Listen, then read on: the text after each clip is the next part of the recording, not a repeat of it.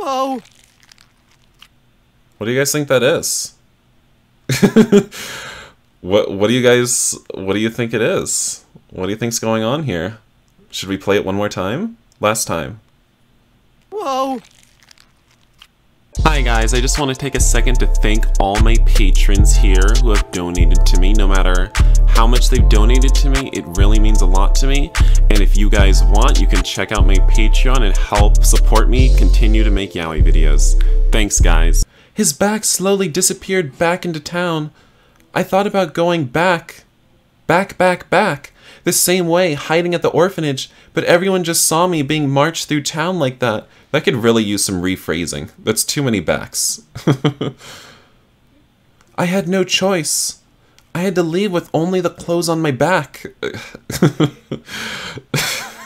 the envelope from the matron, the book I had stolen accidentally from the speaker, and my regret. I, I ran I ran like I had never I never had before. It felt like my heart would burst out of my chest at any second, and my lungs burnt with every breath. Muscles I didn't even know I had ached. Even when I thought I couldn't go any further, I kept running. Where are we? Where is he running? Where Where is he going? Uh, is it safe to just run wildly, blindly into the forest? When I finally collapsed, all I could see was trees and darkness in all directions. I was completely lost. Remember remember the first or second or third buddy law? Like like remember that you need to like find a source of food first or something. Damn. Make shelter. What are you doing? I laid down on my back and caught my breath. What can I do now? I've lost everything. Oh well, better go for another another extended jog. That'll solve everything. No home to go back to, no family. What would everyone at the orphanage think when they found out? Would they be disappointed? Angry? Will they just think I've abandoned them? Betrayed them? A million thoughts ran through my head all at once. I took a deep breath of fresh forest air, cal- I took a deep breath of the fresh forest air and calmed my thoughts. It was only then when I realized the situation I was in. Here, I was, sprawled out on the forest flo- floor, alone at night. I suddenly picked up on all the things I hadn't noticed before a scratching sound, bushes rustling, a howling from somewhere far in the distance. The wind picked up and whipped my hair around my face, only adding to the sudden terror that had struck my heart. All the stories I had been told since childhood about venturing outside of Aurelia Cavella came back to me, and I hadn't only heard of them, I'd repeated the same ones to my children time and time again. Nobody left the confines of Aurelia Cavella. The forest was a dangerous place that spread to the far corners of the planet, and only the protection from the beings above had we lived had we lived in peace for so long. I strained my eyes, trying to look in the darkness that surrounded me. Finally, I dragged myself up from the forest floor. I pulled my coat tighter around myself for security and nervously checked that I still had all my belongings before turning back the way I came. Maybe if I stay closer to the city lights, it'll scare away any danger. Can we even find our way back there? we kind of ran for a while. It was this way, right? Or this way? You should have left a trail. That's another buddy law. no matter which direction I turned to face, the trees looked the same, and from every angle I could hear strange noises. Oh, come on. Which way? Which way? I whipped my head from left to right before dropping my head in my hands. I unconsciously let out a sigh. It's hopeless.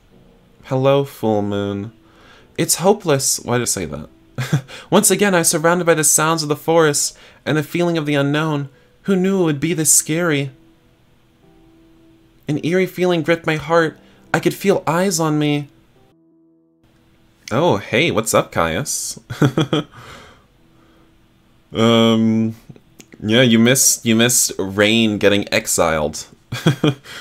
yeah, it it was a bitch. Suddenly, it was quiet. All I could hear was my own heartbeat, quickening by the second. I had to get out of here. With no sense of direction, I just ran. Ran until I couldn't run anymore.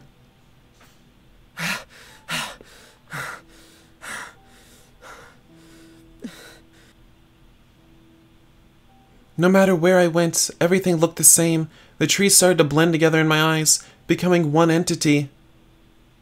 I collapsed onto the ground and crawled back until my body hit a tree.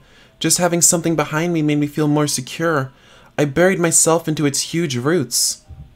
I could barely see my hand in front of my face in the pitch black darkness. The night was freezing. I brought my knees up to my chest, hugging in tight to try and get some warmth. I felt the letter that I had hidden in my clothes. I'm sorry. With the letter clutched close to my heart, I shut my eyes to try and escape from the dangers of reality.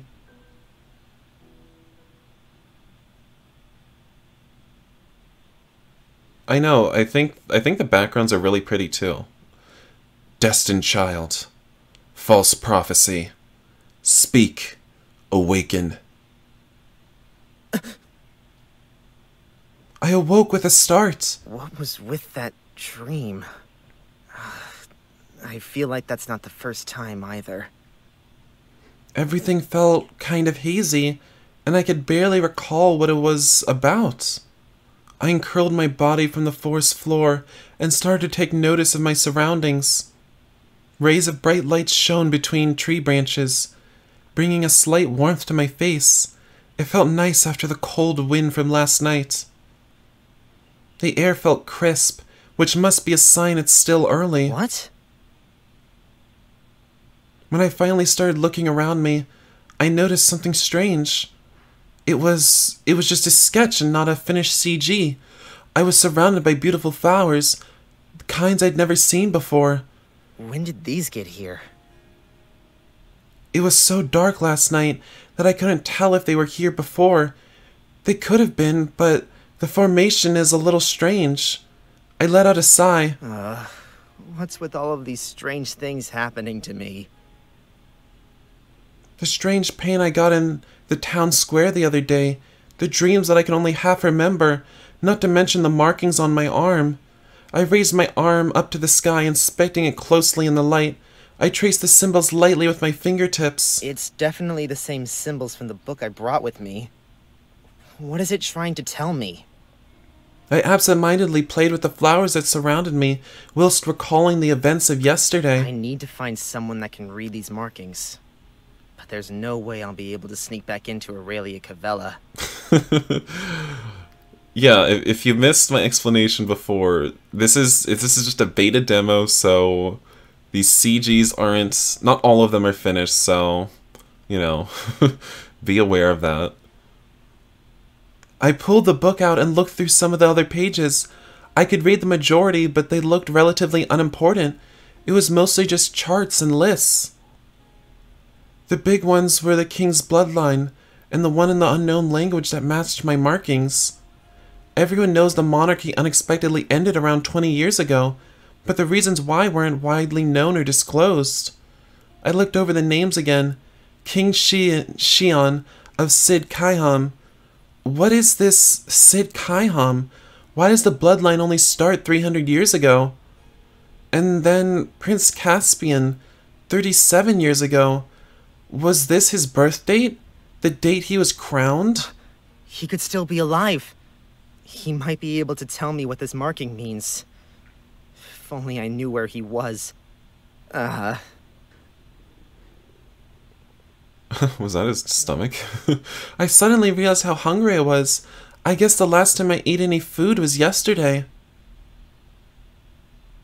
I tried to swallow, but my throat felt all dry and scratchy. I'm seriously thirsty.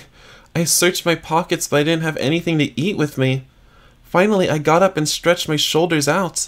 I'd, I'd give anything. Do you guys hear my cat? Oh my god. I'd give anything to sleep on a bed instead of the ground again. First task today find water. Easier said than done, of course. I glanced at the trees around me, but I had no clue which which way I came from last night. I'll just have to pick a direction and hope for the best. I brushed the dirt off my clothes and started my hike to find water. The sun was high out high above me now, warming my chilled body and calming my mind. Compared to last night, the forest wasn't even half as terrifying. Sunlight filtered through the green leaves above, leaving interesting patterns all over the ground.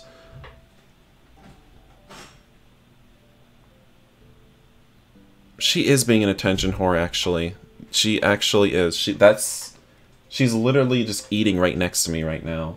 And like she is an attention whore. Moss grew out over the moist tree trunks and roots, making everything look fuzzy and warm. I could hear the faint tweeting of birds up in the canopy. Instead of scary, it was actually kind of beautiful. This only sounds I could hear was my own breathing, and twigs break. And twigs, I'm sorry about that, and twigs breaking under my boots. It was peaceful, even serene when the sun was up. Without noticing, I was slowing my pace, taking in the scenery and enjoying the atmosphere. Everything happened last night.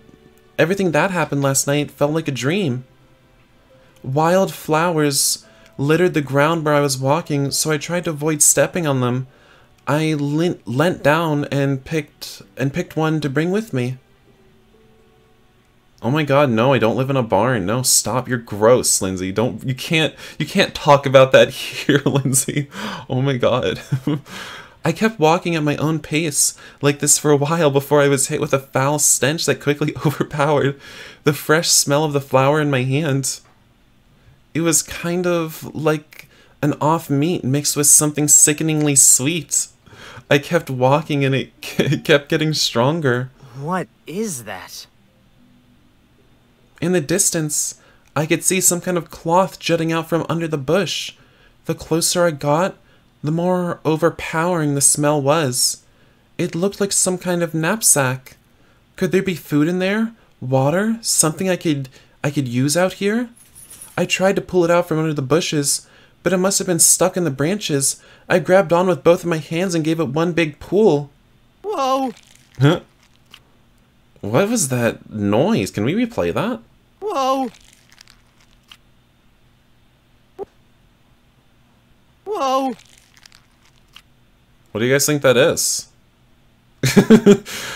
what what do you guys what do you think it is? What do you think's going on here? Should we play it one more time? Last time. Whoa! It, it does not sound it sounds too viscous to be water. okay, it's way too viscous. and oh, thank you, Lauren. it came out easily when I used all my weight, but I pulled so hard I fell backwards onto my butt. The smell was suddenly so sickening that I couldn't help but gag. When I looked down at my at my lap, the knapsack sat between my legs, and I could feel something wet touching my leg. Ew. I reached down to grab it. Whatever it was, it was stone cold and slightly damp. Just slightly? I heard a lot more liquid than that. what? What is that? I held my breath. The stench completely overwhelmed my senses. Slowly, I wrapped my hand around it and pulled it into view. Three, two, one. With a final surge of courage, I pulled it into view. No. I could feel all the blood instantly drain from my face. I threw it back as far as I could, but I could still see it poking out from the bushes. I scrambled away as fast as possible, trying to put some distance between myself and that thing. No. No. No. Aw, see you later, um, Kuro anime. I guess you named yourself after me, but bye. this isn't happen. I turned away quickly, and my stomach lurched. The bag wasn't stuck in the bushes, it was stuck in someone's arms, and I just pulled one right off. I brought my hand to my chest, the feeling of, of my heartbeat on my palm, the only thing making this feel real. Ew, he sounds like he's throwing up. or maybe gagging? Is he gagging actually? Okay, no, it doesn't sound like gagging. but he could. Oh, no, he is gagging. they say they say it's gagging. Ooh. I gagged again, this time much more violently than before. It was just lucky my stomach was still empty. oh god. you can't take just take the dick all at once. You have to go slowly, Rain. There was no way. This couldn't be happening to me. Just yesterday I was living a normal life, safe and happy. How did it come to this? I glanced back in the direction I threw it. It hadn't moved. An arm. A decomposing human arm. Why was it so wet then? who who would be out here? I can't think of anyone wanting to leave Aurelia Cavella. No one leaves. I never even heard of anyone else being expelled. Then have others also been outcasts like I was? How long had the body been there? Another wave of nausea washed over me. I could feel the moisture on my hands. The slimy mucus left a brown sludge all over my palms. Ew, what? From the arm? From the decomposing arm? I rubbed my hands on the ground until they were red raw, but the stains weren't going anywhere. Why won't it come off? Get off! Please, get off! Yeah, I know. Because blood is wet, but he said it was decomposing, so it feels like it's been there for a while. It's not like it would still be that wet. Get off! Oh, wait, no, why am I saying that? Most of it was gone, but I could still tell it was there. It felt disgusting. The pangs of hunter, hunger I felt only a few minutes ago were completely gone. Thank the gods I hadn't found anything to eat yet. I would have instantly lost it. I couldn't move. Or maybe you could use it as lube, right? right, Lindsay? Don't need, don't wash it off. there has to be a reason it's out here, so far from Aurelia Cavella, but why? What could have done this to them? I glanced back towards the bushes from behind my fringe. Hey, don't, don't, don't go OMG at me and look at me with those surprised faces and emoticons. I said it was, that's totally normal what I said. if there was an arm, was the rest of them there too? I don't want to find out. I have to get out of here! I leapt back to my feet, spun around and sped away, giving no notice to the knapsack I left on the grass.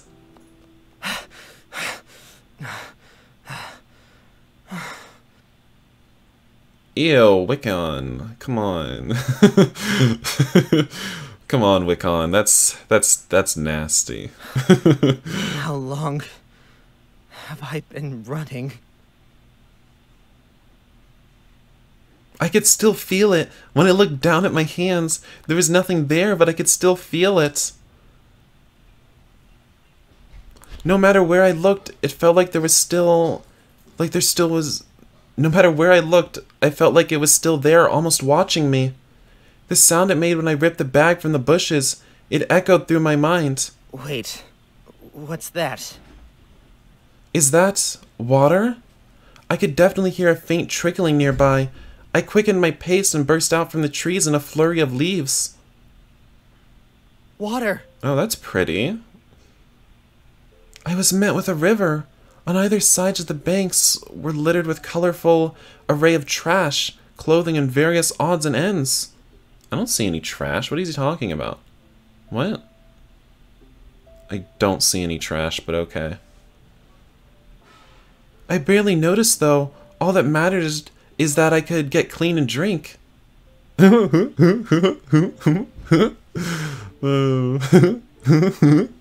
um, nipples. um, I've, I've, I've already knew this before, but his nipples are a bit wide. Um, take a look. Um, yeah, they're kind of wide. I don't know what that's about. Right? They're a little weird. They're a little weird, but he's cute. It's fine. Without any thought, I kicked off my clothes and stripped down to my underwear as I ran towards the water's edge. I launched myself from the bank directly into the river. Who cares about walking around... Who cares about walking around with wet underwear later? The shallow water came up to my waist. The cool water felt refreshing against my sweaty skin. Finally, water. I kept scrubbing at my arms, hands, and legs until they were red raw. It felt like I was rubbing away the memories from earlier. Once I was satisfied with that, I moved on to my hair. The sweat and grease from la the last couple of days had really built up. that feels better already. My head instantly whipped up towards the opposite bank. Um. this is Kiba Walker's character, so let's all um, let's all just keep that in mind. Uh, But what is he wearing? He's wearing like these. Those are kind of short, aren't they? And like, hmm, it's a very, really, really interesting costume design.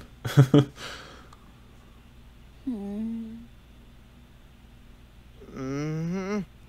Oh my god, are they just fucking each other their eyes? they're they're not saying anything. They're just staring at each other. Th- they don't need words for this. on the opposite bank stood a young blue-haired boy with a completely dumbfounded look on his face. His arms were full of a multitude of items. Before I could open my mouth, he turned and ran. Wait! I bolted back for my clothes and took off in the same direction I last saw the boy. As I ran, I could still hear the distinct sounds of leaves and sticks crunching in front of me. At least he hasn't gotten away yet. The grounds here look like it's been used all the time. It formed what could almost be called a path. He must come this way a lot. Between the trees, I caught a brief glimpse of his blue locks. Soon, more of his figure came into view as I gained as I gained on him. Hey, wait, please! Oh my god, Lindsay. Always talking about feet. he obviously wasn't going to wait. He was close enough now that I could almost touch him. I reached out to grab him, but only managed to brush my fingertips against his back. This might be my only chance. I can't risk him getting away. With the last of my energy, I leapt towards him. Uh, got you! Oh yeah. Get get right up on him. right in your underwear. Get right up on him. Hump him a little. Ooh. um Um so yeah, this this looks like I can this is only going to look even better once it's finished. but um this is looking pretty cute. Rain looks pretty dominant when you put him next to um next to this even femmer boy. I said wait! I tackled the boy to the ground and held him there with my arms with held him there with my arms either side of his head. My lungs burnt from the chase. The boy below me looked terrified. His body was shaking underneath mine. I'm not going to hurt you. I just want to talk. He suddenly turned bright red. He wasn't looking at my face though. What what was he looking at? when I followed his gaze, he was looking somewhere lower. Then I realized I hadn't gotten dressed yet. Ooh, this little this little this little twink is a this little twink is a little slut. I, uh, I didn't. I mean. Um, I could finally see the boy up close. His pale blue hair was feathered around him, and his silvery eyes were wide and scared. When his lips trembled, he looked like he he would cry at any moment. He seemed fragile, breakable. His face was slowly getting wetter the longer I I leant I leant my soggy hair over him. I'm so sorry. Uh, are. Are you hungry? Hungry for some hole. Uh, yeah. I quickly got off him and picked my clothes back up, cradling them to my chest. I'm going to put my clothes back on, so don't go anywhere, please. The other boy got up slowly, keeping his eyes on the ground and nodding his head slightly. I turned around and slid my clothes back on as fast as I could. I fumbled a little while, trying tying my shoes back up. I half expected the blue haired boy to be gone when I turned back around, but he wasn't. I'm done now. Listen, I'm sorry for jumping on you like that. I'm not trying to hurt you, but you're the only person I've seen alive out here. Uh, my name's Rain. I reached my hand out towards him, but he looked down at my open palm and hesitated, but eventually took my hand and shook it. Uh, uh, Fawn. Fawn? Uh, my name? Oh, Fawn. It's nice to meet you. I noticed the items he was carrying were littered across the grounds. Help him pick them up? Wait for him to finish collecting his things? Um. Hmm. I mean, it doesn't really matter. It's the demo, but what do you guys think? Should we help him? Or should we just let the bitch pick up his own shit? yeah, this is Kiba Walker's VA. Help him? Ugh, God. You just want to help every twink you see, don't you, Crispina? Oh my god, Lindsay, of course you want to help him. Oh my god, every one of you wants to help him. Do you guys. Like, self reliance, guys. Like, let the bitch do his own work. But fine, we'll help him. Because you all.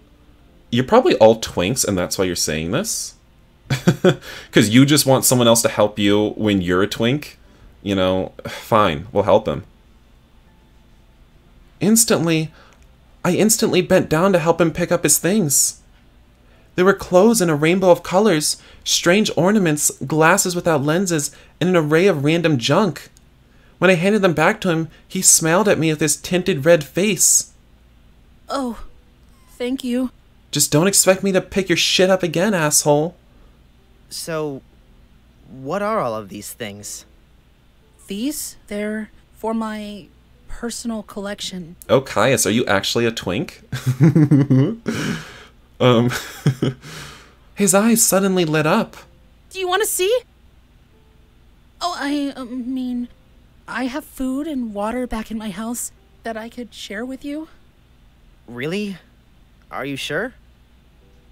My hunger and thirst from earlier had returned with a vengeance. I'm starving. Yeah, there's enough for both of us. With his arms full of items to add to his collection, he turned around and started walking. I guess he wanted me to follow after him? I jogged up to walk beside him. So, Fawn, you live here in the forest? By yourself? Oh, yeah, not far from here. Not by myself, though. I live with a bunch of my friends. Really? You all live out here together? Uh, For how long? Uh, He stopped for a couple of seconds before speaking. Again, he he seemed pretty deep in thought. a while now. Helpful. Why did you leave Aurelia Cavella when the divine beings don't protect the outside land? He sounds pretty annoyed, just like he's annoyed at those kids back at the orphanage. What? The speaker says it's too dangerous to even enter the forest, let alone live here. How did you get here? A speaker? Aurelia Cavella? Are you talking about the town to the west of here? Across the river. Fawn frowned at me, obviously confused by what I was saying. You don't know the speaker? I've never been there before, so Wait, so you were born out here? no, I came here as a child. What's up with this guy? Maybe he's delusional from being out here for so long. Uh, alright. Sure. I just let it go. It was obvious Fawn didn't know exactly what he was talking about. Before I could ask anything else, we stopped in front of a tall tree with a rope ladder hanging down from it. When I looked up, I could see a small wooden hut set into the trunk. Into the trunk. You live in a tree? It's safer to be up high during the night. He gave me a soft smile when he loaded a bag full of his new items and slung it across his back. I couldn't help but think about the knapsack from earlier. Best, best just try to, best just to try and forget about it.